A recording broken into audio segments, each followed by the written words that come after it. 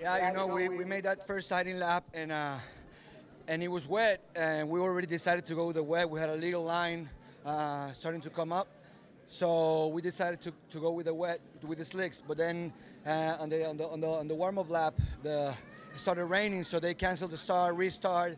Um, at that point, I saw everybody a little hectic, uh, changing to rain tires, but you know, it was just a little bit of water, and, and I knew from previous from the previous hours that the track were, will would uh, dry out uh, pretty quick, especially with the wind picking up.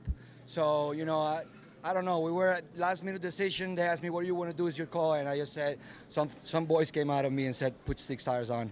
And as, as soon as I got to turn one, I knew I had it in the pocket. I just need to be concentrate. Uh, very difficult, you know, 18 laps without anybody just just riding, uh, concentrating without any mistakes, and and it paid off. I'm very happy. Thanks for the team and thanks for everybody who supported me. And you know, a long way to this first victory, and now um, we hope we keep keep going with the momentum.